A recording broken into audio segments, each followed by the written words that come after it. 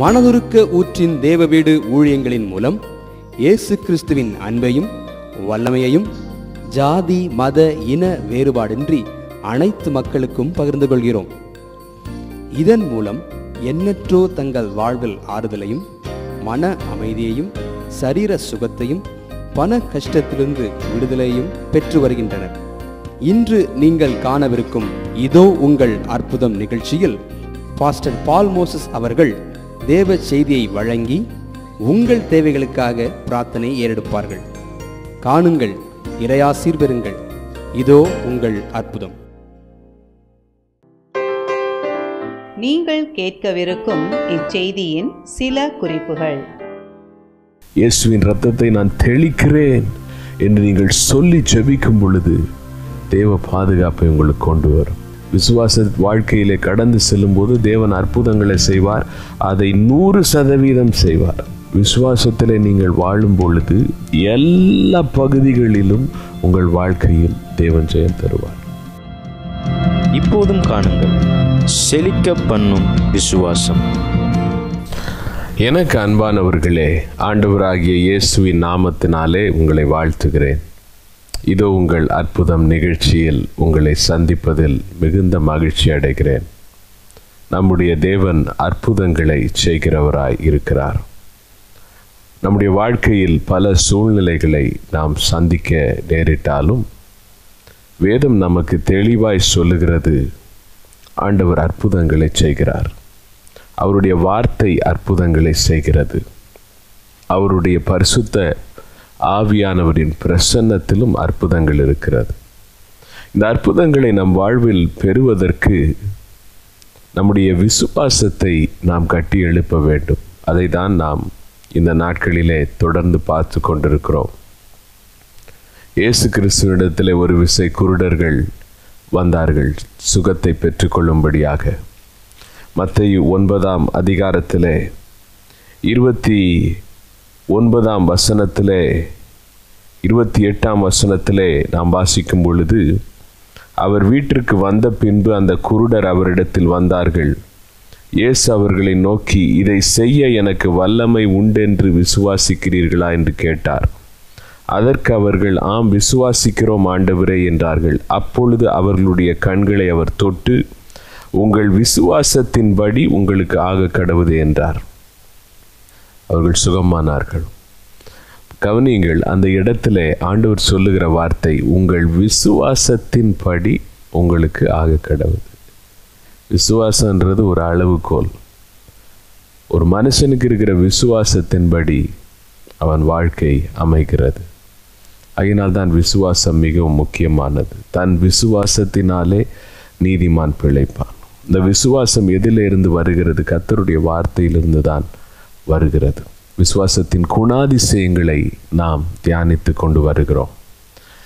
இந்த நாளிலும் கூட ஆண்டவருடைய வார்த்தையை நீங்கள் கேட்கும் பொழுது உங்களுக்குள்ளே விசுவாசம் எழும்பும். அந்த விசுவாசம் கட்டி எழுப்பப்படும் போது அந்த விசுவாசத்திற்கு ஏற்ற கிரியைகளை தேவன் உங்களுக்கு செய்வார். எப்ரேயர் பதினோராம் அதிகாரத்தில் இருபத்தி எட்டாம் வசனம் முதல் முப்பத்தி ஓராம் வசனம் வரைக்கும் இன்றைக்கு தியானிக்க போகிறோம். இந்த பகுதி இயேசு கிறிஸ்துவின் இரத்தத்தின் வல்லமையை குறித்து பேசுகிறது. அந்த இரத்தத்தை நாம் விசுவாசிக்கும் பொழுது நமக்கு நடக்கிற காரியங்களை குறித்து பேசுகிறது. மிகவும் அற்புதமான வெளிப்பாடுகளை பரிசுத்தாவியானவர் இந்த பகுதியில் இருந்து நமக்கு கொடுக்க போகிறார். எப்ரேயர் பதினோராம் அதிகாரம் இருபத்தி எட்டாம் வசனம். விசுவாசத்தினாலே முதற் பேரானவைகளை சங்கரிக்கிறவன் இஸ்ரவேலரை தொடாதபடிக்கு அவன் பஸ்காவையும் இரத்தம் பூசுதலாகிய நியமத்தையும் ஆசிரித்தான். மோசேயின் விசுவாசத்தை குறித்து இங்கே வேதம் நமக்கு சொல்லுகிறது. இந்த மோசே இஸ்ரவேல் ஜனங்கள் எகிப்திலிருந்து விடுதலை அடைகிற நேரத்தில் ஆண்டவர் சொன்னதை செய்கிறான். ஆண்டவர் அவர்களிடத்தில் அந்த நாட்களில் எகிப்திலிருந்து அவர்கள் வெளியே வரப்போகிற நாட்கள் நானூற்றி முப்பது ஆண்டுகள் அடிமைத்தனம் முடிகிற நாட்களில் ஆண்டவர் சில காரியங்களை மோசனிடத்தில் சொல்லி இதை இஸ்ரவேல் ஜனங்கள்கிட்ட சொல்லு இது மாதிரி அவர்கள் செய்ய வேண்டும் என்று சொன்னார். அதை நாம் யாத்திராகமம் பன்னிரெண்டாம் அதிகாரத்திலே பார்க்க முடியும். யாத்திராகமம் பன்னிரெண்டாம் அதிகாரம் ஐந்து முதல் எட்டாம் வசனத்தை வாசிக்கும் பொழுது அந்த ஆட்டுக்குட்டி பழுதற்றதும் ஆணும் ஒரு வயதுள்ளதுமாய் இருக்க வேண்டும். செம்மறி ஆடுகளிலாவது வெள்ளாடுகளிலாவது அதை தெரிந்து கொள்ளலாம். அதை இந்த மாதம் பதினாலாம் தேதி வரைக்கும் வைத்திருந்து இஸ்ரவேல் சபையின் ஒவ்வொரு கூட்டத்தாரும் சாயங்காலத்தில் அதை அடித்து அதன் இரத்தத்தில் கொஞ்சம் எடுத்து தாங்கள் அதை புசிக்கும் வீட்டு வாசல் நிலைக்கால்கள் இரண்டிலும் நிலையின் மேல் சட்டத்திலும் தெளித்து அன்று ராத்திரியில் அதன் மாம்சத்தை நெருப்பினால் சுட்டு புளிப்பில்லாத அப்பத்தோடும் கசப்பான கீரையோடும் அதை புசிக்க கடவர்கள்.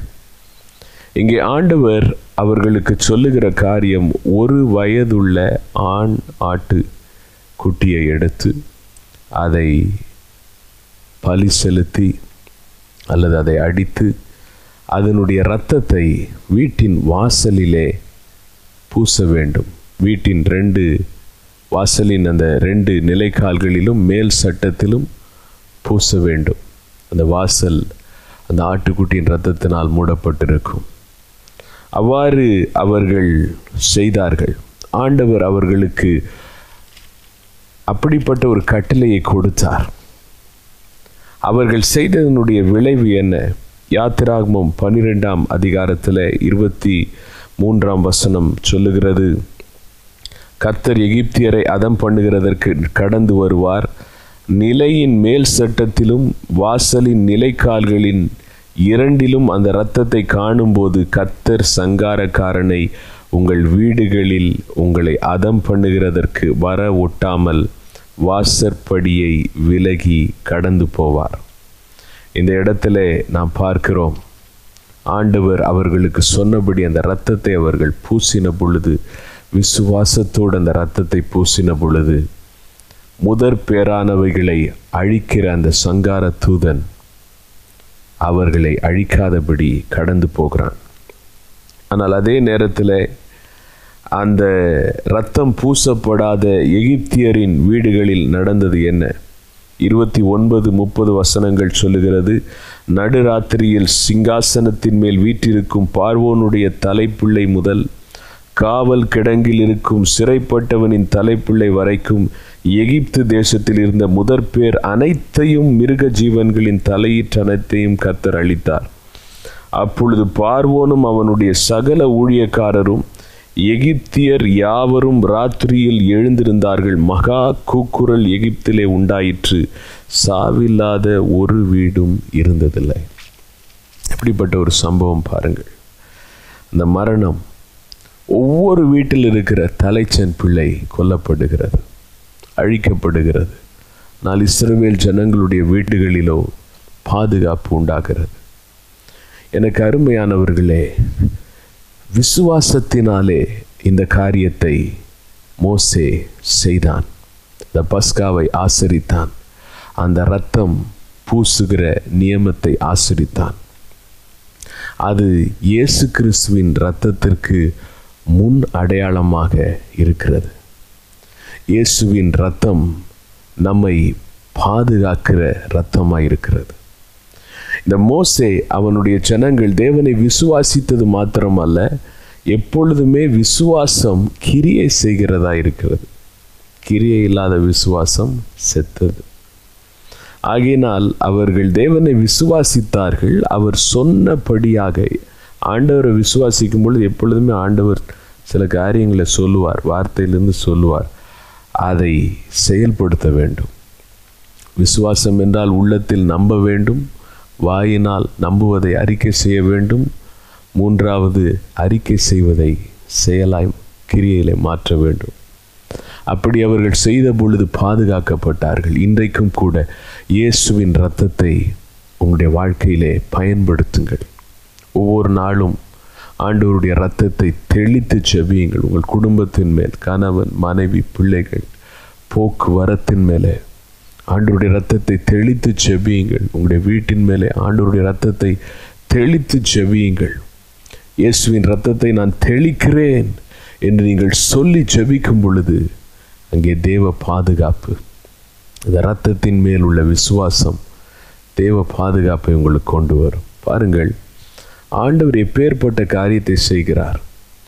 ஒருவேளை சிலர் நினைக்கலாம் ஏன் அந்த எகிப்தியருடைய தலைச்சன்களை ஆண்டவர் கொல்ல வேண்டும்? ஆண்டவர் அன்புள்ளவர் இல்லையா? அப்படின்னு சொல்லிட்டு. ஆனால் அது ஒரு நியாய தீர்ப்பு தான் காரணம் இந்த எகிப்தினுடைய பார்வோன் இஸ்ரவேல் ஜனங்களுடைய பிள்ளைகள் பிறந்த பொழுது பிள்ளைகள் அதிகமாக இஸ்ரவேல் ஜனங்கள் பெருகினார்கள் என்று சொன்னபோது ஒரு கட்டளை போட்டான். எல்லா ஆண் பிள்ளைகளையும் கொண்டு போய் நைல் நதியிலே போட்டுவிட வேண்டும். அநேக ஆண் பிள்ளைகள் இஸ்ரவேல் ஆண் பிள்ளைகள் மறித்து போனார்கள். ஆனால் அவைகளுக்கு கணக்கு தீர்க்கும்படியாக நீதியுள்ள நியாயாதிபதி தேவன் இஸ்ரேல் ஜனங்கள் எகிப்தை விட்டு வெளியே வருவதற்கு முன்பாக தலைச்சன்கள் சங்கரிக்கப்படுகிறதை நாம் பார்க்கிறோம். ஆனால் இயேசுவின் ரத்தத்தின் வல்லமைக்குள்ளே நீங்கள் இருக்கும் பொழுது இந்த உலகத்தில் என்ன அழிவு நேரிட்டாலும் உங்களையும் உங்கள் குடும்பத்தையும் உங்கள் பிள்ளைகளையும் அந்த அழிவு தாக்குவதில்லை. இரண்டாவது நாம் பார்க்கிறோம் எபிரேயர் பதினோராம் அதிகாரம். இருபத்தி ஒன்பதாம் வசனம் விசுவாசத்தினாலே அவர்கள் இஸ்ரேல் ஜனங்கள் சிவந்த சமுத்திரத்தை உலர்ந்த தரையை கடந்து போவது போல கடந்து போனார்கள். எகிப்தியர் அப்படி செய்ய துணிந்து அமிழ்ந்து போனார்கள். இந்த சம்பவம் நமக்கு தெரியும். யாத்திராகமம் பதினான்காம் அதிகாரத்தில் சொல்லப்பட்டிருக்கிறது. எகிப்தை விட்டு வெளியே வருகிறார்கள். பார்வோன் துரத்தி கொண்டு வருகிறான். அவர்களுக்கு முன்பாக ஒரு செங்கடல் நிற்கிறது. மோசே தேவனை விசுவாசித்தான். நம்ம ஆண்டவரை விசுவாசிக்கும் போது ஆண்டவர் நம்மோடு பேசுவார். ஆண்டவரை நாம் விசுவாசிக்கும் போது அவர் நமக்கு ஒரு வார்த்தையை கொடுப்பார். மோசையை பார்த்து ஆண்டவர் சொல்லுகிறார் யாத்திராகமும் பதினாலாம் அதிகாரம் பதினாறாம் வசனம் நீ உன் கோலை ஓங்கி உன் கையை சமுத்திரத்தின் மேல் நீட்டி சமுத்திரத்தை பிளந்து விடு. அப்பொழுது இஸ்ரவேல் புத்திரர் சமுத்திரத்தின் நடுவாக வெட்டாந்தரையிலே நடந்து போவார்கள். பாருங்கள். ஆண்டவர் விசுவாசிக்கும் போது ஆண்டவர் வார்த்தையை கொடுப்பார். அந்த வார்த்தையை நம்ம செயல்படுத்தணும். உன் கோலை நீட்டுன்னு சொல்கிறார் சமுத்திரத்தின் மேல் நீட்டு. நடந்தது என்ன? இருபத்தி ஓராம் வசனம். மோசே தன் கையை சமுத்திரத்தின் மேல் நீட்டினான். அப்பொழுது கர்த்தர் ராம் முழுவதும் பலத்த கீழ்காற்றினால் சமுத்திரம் ஒதுங்கும்படி செய்து அதை வறண்டு போக பண்ணினார். ஜலம் பிளந்து பிரிந்து போயிற்று. ராம் முழுவதும் காற்று அனுப்புகிறார் அந்த கடல் சுமார் பனிரெண்டு கிலோமீட்டர் அகலம் சிவந்த சமுத்திரம். அது ரெண்டாய் பிரிந்து போகிறது. நான் விசுவாசிக்கிறேன் அந்த தண்ணியை பிரிக்கிறதுக்கு நைட் ஃபுல்லாக காற்று தேவையில்லை. கொஞ்ச நேரம் காற்றடித்த உடனே பிரிஞ்சிருக்கும். ஆனால் எதற்காக இரவு முழுவதும் அவர் காற்றை அனுப்பினார்? அதுக்கு ஒரு காரணம் இருக்கிறது. இருபத்தி ரெண்டாம் வசனம் சொல்லுகிறது இஸ்ரவேல் புத்திரர் சமுத்திரத்தின் நடுவாக வெட்டாந்தரையில் நடந்து போனார்கள். கட்டாந்தரையில் நடந்தார்கள். பாருங்க ஆண்டவர் அங்கே ஒரு அற்புதத்தை செய்து ஜனங்களை சேத்துல நடக்க விடலை. ஆண்டவர் எப்பயுமே அதான் விசுவாச வாழ்க்கையின் மகிமை. விசுவாச வாழ்க்கையிலே கடந்து செல்லும்போது தேவன் அற்புதங்களை செய்வார் அதை நூறு சதவீதம் செய்வார். சமுத்திரம் பிரியறதே பெரிய அற்புதம் தான் ஆனால் பிரிந்தால் கீழே அந்த தரையெல்லாம் சேராக தான் இருந்திருக்கும் நைட் ஃபுல்லாக ட்ரை வாஷ் மாதிரி ட்ரீட்மெண்ட் கொடுக்குறாரு. நைட் ஃபுல்லாக காற்றடிக்கிறது. அப்படியே அந்த அந்த தரை சேர் அப்படியே உலர்ந்து கட்டாந்தரையாக வெட்டாந்தரையாக மாறுகிறது. சிமெண்ட் டைல் ஃப்ளோர் மாதிரி சிமெண்ட் ஃப்ளோர் மாதிரி மாறுகிறது. ஆண்டவருடைய கரிசனை பாருங்கள். தன்னுடைய பிள்ளைகள் சேத்தில் நடக்கக்கூடாது. நாம் நம்முடைய பிள்ளைகள் சேரில் நடக்க விடுவோமா? நாமே விட மாட்டோம். ஆண்டவர் அப்படிதான். நம்மை காட்டிலும் மேலானவர். வெட்டாந்தரையிலே விசுவாசத்திலே அவர்கள் சிவந்த சமுத்திரத்தை கடந்தார்கள். அதுக்கு சிவந்த சமுத்திரம் என்கிற பெயர் அதற்கு காரணம் சுற்றி இருக்கிற மலைகள் செம்மண் மலைகள் ஏதோம் என்று அழைக்கப்படுகிற பகுதி இருக்கிறது. வெயில் அடிக்கும்போது அப்படியே பிரதிபலித்து அந்த தண்ணீர் சிகப்பாக சில நேரங்களில் தோன்றும். அதனால் சிவந்த சமுத்திரம். அதுவும் இயேசுவின் இரத்தத்தை தான் குறிக்கிறது. இயேசுவின் இரத்தம் இரண்டாவது நமக்கு பாதை இல்லாத இடங்களில் பாதையை உண்டு பண்ணுகிறதா இருக்கிறது. உடைய வாழ்க்கையின் சூழ்நிலைகள் அடைக்கப்பட்ட சூழ்நிலைகள் போல இருக்கிறதா? இயேசுவின் ரத்தத்தை தெளியுங்கள். ஆண்டவரே இந்த மூடப்பட்ட சூழ்நிலையில் உங்களுடைய ரத்தத்தை தெளிக்கிறேன். இந்த வாசல் திறக்கப்படட்டும். முடியாத இந்த காரியத்தின் மேல் உங்களுடைய ரத்தத்தை தெளிக்கிறேன். இந்த காரியம் வாய்க்கட்டும். ஒருவேளை சரீரத்தில் அவயவங்களில் செயல்படாத அவயவங்கள் இருக்கிறதா? இயேசுவின் ரத்தத்தை இந்த அவயவத்தின் மேல் தெளிக்கிறேன். ஆண்டவரே இந்த அவயவத்தில் ஒரு வழி பிறக்கட்டும். விசுவாசத்தோடு நீங்கள் அறிக்கை செய்யும் பொழுது இயேசுவின் ரத்தம் வழியை உண்டு பண்ணும். அதுக்கு பிறகு விசுவாசம் இல்லாமல் அந்த பார்வோனின் மக்கள் சொந்த பலத்தினால் மாம்ச பலத்தினால் சுய பலத்தினால் அதே சிவந்த சமுத்திரத்தில் வராங்க. பின்பற்றி வருகிறார்கள். ஆனால் மோசே கையை உயர்த்தின போதோ ஆண்டவர் அவளுடைய சக்கரங்களையெல்லாம் கலண்டு போக பண்ணி அவர்களை மூழ்கடித்து போனார். ஒருவரும் தப்பவில்லை. முந்தைய சம்பவத்திலும் பார்த்தோம் ஒரு குடும்பத்திலாகிலும் அழிவு இல்லாமல் இல்லை. இங்கேயும் பார்க்கிறோம் ஒருவரும் தப்பவில்லை. அப்படி என்றால் என்ன? விசுவாசத்தில் நீங்கள் வாழும் பொழுது எல்லா பகுதிகளிலும் உங்கள் வாழ்க்கையில் தேவன் ஜெயம் தருவார். கடைசியாக நாம் பார்க்கிறோம் எபிரேயர் பதினோராம் அதிகாரத்தில் முப்பது முப்பத்தி ஒன்று விசுவாசத்தினாலே எரிகோ பட்டணத்தின் மதில்கள் ஏழு நாள் சுற்றி வரப்பட்டு விழுந்தது. விசுவாசத்தினாலே ராகாப் என்னும் வேசி வேவுக்காரரை சமாதானத்தோடு ஏற்றுக்கொண்டு கீழ்ப்படியாதவர்களோடே கூட சேதமாகாதிருந்தாள்.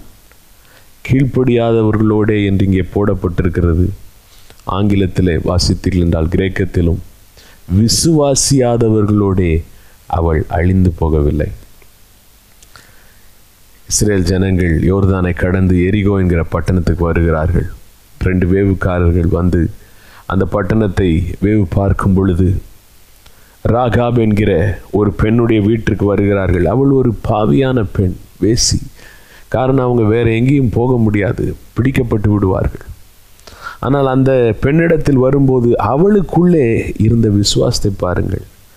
ராஜா ஆள் அனுப்பி இதை கேள்விப்பட்டு இந்த ரெண்டு பேரையும் பிடித்து கொண்டு வர சொல்லும்போது அவள் அவர்களை ஒழித்து வைக்கிறான். யோசுவாவின் புஸ்தகத்தில் ரெண்டாம் அதிகாரத்தில் ஆறாம் வசனத்தில் அவர்களை சணல் தட்டைகளுக்குள்ளே மறைத்து வைத்தாள் என்று வேதம் சொல்லுகிறது. ஏன் மறைத்து வைத்தாள்? ஏன் அவங்கள காட்டி கொடுக்கல? ஏன் அவங்கள ராஜாட்ட பிடிச்சு கொடுக்கல? காரணம் உண்டு.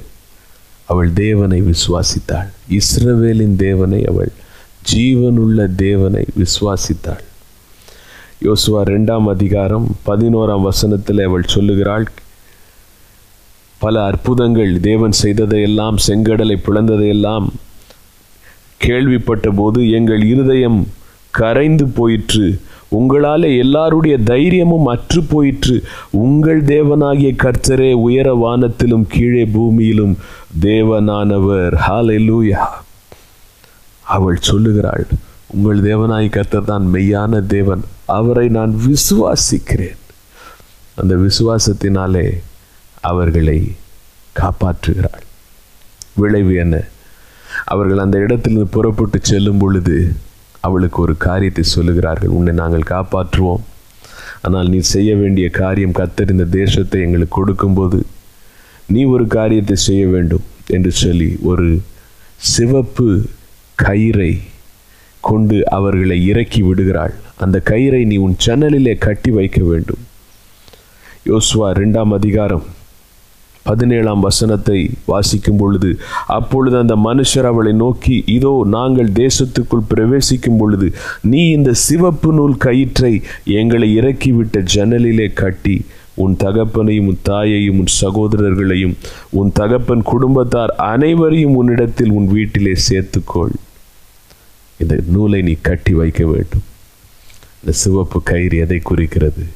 இயேசுவின் இரத்தத்தினால் உண்டாகிற பாதுகாப்பு. பாருங்கள் அந்த கயிறை அவள் கட்டி வைத்தாள். அவர்கள் ஏழு நாள் சுற்றி வந்து எரிகோ மதில் தரைமட்டமாய் விழுந்த பொழுது அவளுடைய வீடு மாத்திரம் விசுவாசத்தினால் அதுவும் மதில் மேல்தான் இருந்தது.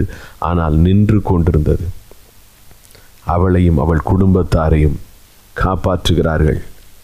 யோசுவாவின் புஸ்தகம் ஆறாம் அதிகாரத்திலே நாம் வாசிக்கும் பொழுது இருபத்தி மூன்றாம் வசனம் சொல்லுகிறது அப்பொழுது வேவுக்காரரான அந்த வாலிபர் உள்ளே போய் ராகாபையும் அவள் தகப்பனையும் அவள் தாயையும் சகோதரர்களையும் அவளுக்குள்ள யாவையும் அவள் குடும்பத்தார் அனைவரையும் வெளியே அழைத்து கொண்டு வந்து அவர்கள் இஸ்ரவேல் பாளையத்துக்கு புறம்பே இருக்கும்படி பண்ணினார்கள். கத்தர் அவளை பாதுகாத்தார். காரணம் என்ன? அவள் விசுவாசித்தாள் இன்றைக்கும் கூட இயேசுவின் ரத்தத்தை நாம் விசுவாசித்து நம்முடைய குடும்பத்தின் மேலே ஆண்டவரே உடைய ரத்தத்தை என் ரட்சிக்கப்படாத குடும்ப மக்கள் மேலே நான் தெளிக்கிறேன் என்று சொல்.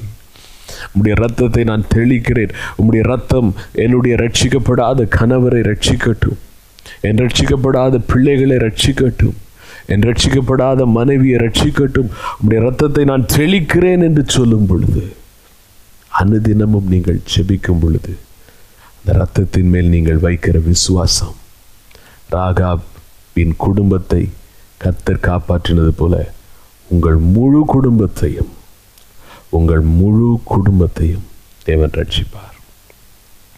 எத்தனை அருமையான வார்த்தை. இன்றைக்கு இயேசுவின் ரத்தத்தின் வல்லமையை நாம் விசுவாசிக்கும் பொழுது உண்டாகிற மூன்று ஆசீர்வாதங்களை நாம் பார்த்தோம். முதலாவது காரியம் அந்த இரத்தத்தின் வல்லமையினாலே நமக்கு சரீர பாதுகாப்பு உண்டு. ரெண்டாவது காரியம் அவருடைய இரத்தத்தை விசுவாசித்து அறிக்கை செய்யும் போது வழி இல்லாத இடங்களில் சிவந்த சமுத்திரத்தை திறந்தவர் வழியை திறப்பார். மூன்றாவது ரட்சிக்கப்படாத மக்கள் மேல் அந்த இரத்தத்தை தெளித்து செபிக்கும் போது ஆண்டவருடைய ரத்தம் அவர்களை மீட்கும். இப்பொழுது நாம் செபிக்க போகிறோம். அதே இரத்தத்தின் வல்லமை இன்றைக்கு நம்மத்தில் இருக்கிறது. நாம் செபிக்கலாமா எங்களை நேசிக்கிற அன்புள்ள பரலோக தகப்பனே இந்த அருமையான நாளுக்காக நன்றி சொல்லுகிறோம். உம்முடைய வல்லமையுள்ள பிரசன்னம் எங்கள் மத்தியில் கடந்து வந்திருக்கிறதற்காக. உமக்கு ஸ்தோத்திரம் ஆண்டவரே. உமக்கு நன்றி அப்பா. உம்மை துதிக்கிறோம் ஆண்டவரே. இயேசு என்னும் இணையற்ற நாமத்தினால் உம்முடைய இரத்தத்தின் வல்லமைக்காக நன்றி சொல்லுகிறோம். அந்த இரத்தம் விடுவிக்கிற இரத்தமாக பாதுகாக்கிற ரத்தமாக பாதைகளை உண்டு பண்ணுகிற ரத்தமாக இருக்கிறதற்காய் ஸ்தோத்திரம் ஆண்டவரே. அன்றைக்கு நீ பழைய ஏற்பாட்டிலே நீ செய்த கிரியைகளை இன்றைக்கும் நீ செய்ய வல்லவர். அதை காட்டிலும் மேலான கிரியைகளை உடைய ரத்தம் இன்றைக்கு செய்ய வல்லமை உள்ளதாக இருக்கிறது. ஆகையினால் இந்த நிகழ்ச்சியை பார்த்து என்னோடு ஜபிக்கிற ஒவ்வொருவர் மேலும் உடைய ரத்தத்தை நான் தெளித்து ஜபிக்கிறேன். அவர்கள் குடும்பங்களிலே ஆண்டவரே உம்முடைய ரட்சிப்பு வெளிப்படுவதாக மனக்கண்கள் சிறக்கப்படுவதாக என்று நான் செபிக்கிறேன் அப்பா. ஆண்டவரே தங்கள் பிள்ளைகள் ரட்சிக்கப்பட வேண்டும் என்று பாரத்தோடு ஜெபிக்கிறவர்கள் தங்கள் கனவு ரட்சிக்கப்பட வேண்டும் என்று ஜெபிக்கிறவர்கள் இன்றைக்கு உடைய ரத்தம் இறங்கி வந்து அந்த கணவரையும் அந்த பிள்ளைகள் மேல் உடைய ரத்தம் தெளிக்கப்படட்டும். இயேசுவின் ரத்தம் அவர்களை விடுதலை செய்வதாக. அதே நேரத்தில் எல்லா தீமைகள் எல்லா பிசாசின் போராட்டங்கள் வியாதிகள் சாப கட்டுகள் கிரியைகள் இவைகளில் இருந்து உடைய ரத்தத்தின் வல்லமையினால் இப்பொழுது உடைய ஜனங்களுக்கு விடுதலை உண்டாவதாக. சாபங்கள் விலகட்டும் இயேசுவின் நாமத்தினால். ஆசிர்வாதம் விடுதலை தெய்வீக சுகம் உண்டாகட்டும் அப்பா. பாதை இல்லாத இடங்களில் பாதை இப்பொழுதே உண்டாவதாக இயேசுவின் நாமத்தினால். வருமானத்திற்கு வழி இல்லை வேலைக்கு வேலை இல்லை. என்கிற நிலையில் இருக்கிறவர்கள் தொழிலிலே நஷ்டத்தோடு இருக்கிறவர்கள். எல்லார் மேலும் உம்முடைய ரத்தத்தை இப்பொழுது தெளிக்கிறேன். இயேசுவின் ரத்தம் சிவந்த சமுத்திரத்தை அன்றைக்கு நீ பிளந்தீரே. இன்றைக்கு உம்முடைய ரத்தம் ஆண்டவர் உடைய பிள்ளைகளுக்கு ஒரு வழியை திறப்பதாக ஆசீர்வதி. நீர் அப்படி செய்கிறதற்காக நன்றி. உங்கள் ஜெபத்தை கேட்டதற்காக நன்றி.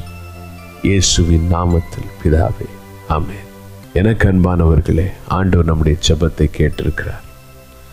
இயேசுவின் ரத்தம் வல்லமை உள்ளது.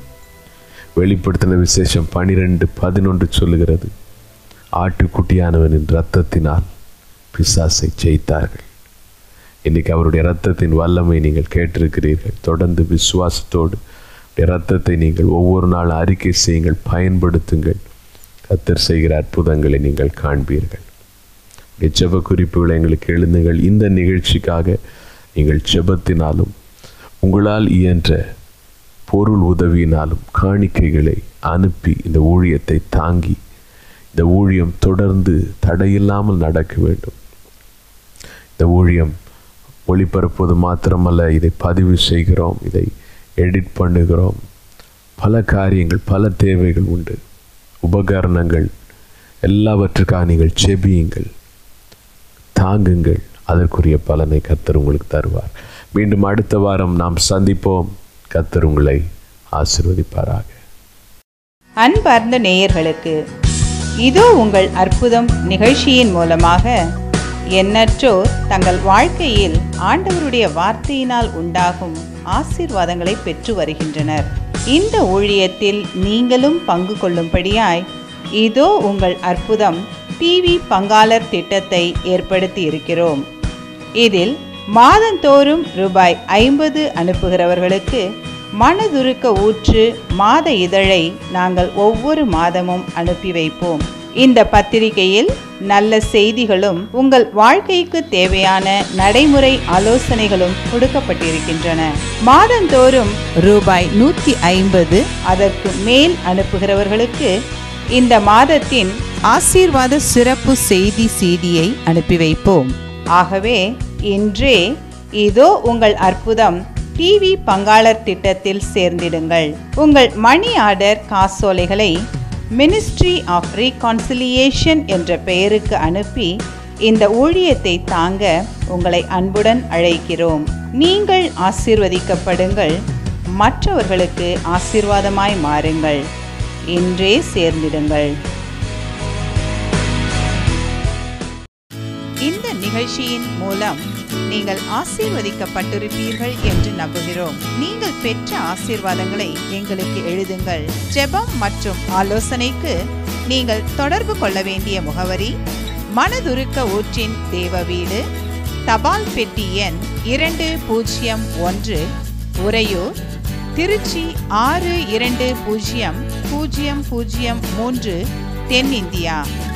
எங்கள் தொலைபேசி எண்கள் ஒன்பது எட்டு நான்கு இரண்டு நான்கு ஐந்து பூஜ்ஜியம் ஒன்பது ஏழு ஏழு ஒன்பது எட்டு நான்கு இரண்டு பூஜ்ஜியம் ஐந்து பூஜ்ஜியம் ஒன்பது எட்டு எட்டு.